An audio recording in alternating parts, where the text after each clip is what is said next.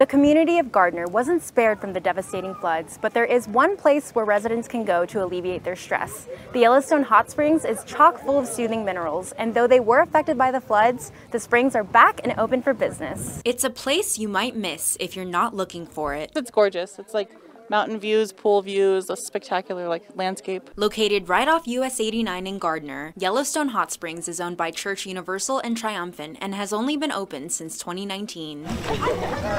The water is actually pumped to us from the LaDuke Hot Springs about a mile and a half down the road. It comes out at about 155 degrees. The hot springs has a flow system where the water empties out into the Yellowstone River. So we cannot use chemicals, there is no chlorine, there is no bleach. That means there's a whole new pool every eight hours. But the property wasn't spared from the floods. Their cabins, RV park, and camping sites were hit the hardest. We did lose 13 of our RV sites um, to the raging waters.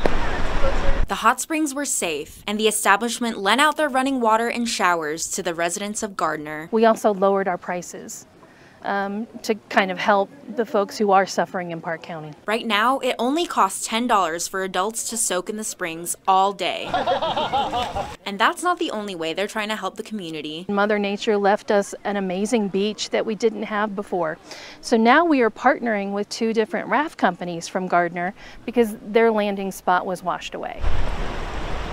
There are three pools at the Yellowstone Hot Springs hot, warm, and cold. Good for visitors like Johanna Lindstrom, who came all the way from Seattle. I really like how they have the hot and the cold pool, and I usually like go in and out of both, and it's really nice to just switch around. They're also the only hot springs that has a Kneipp walk in the country. One side's hot and one side's cold. There's um, river rock on the bottom.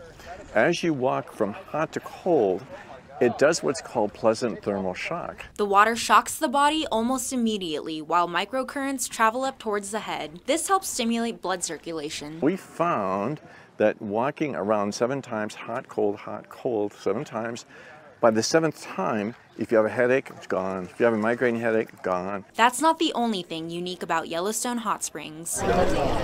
What makes this an exceptional hot springs are the jets. Ronald says the high pressure of the jets combined with the minerals washes away any kind of pain. And while you're soaking, it's a good chance to see some wildlife. We've got bighorn sheep across the river, eagles flying over. Um, elk walking through every day. And visitors have not been disappointed. Honestly, 10 out of 10, and I've been to a lot. Hot Springs is the best. In Gardiner, Alina Howder, MTN News.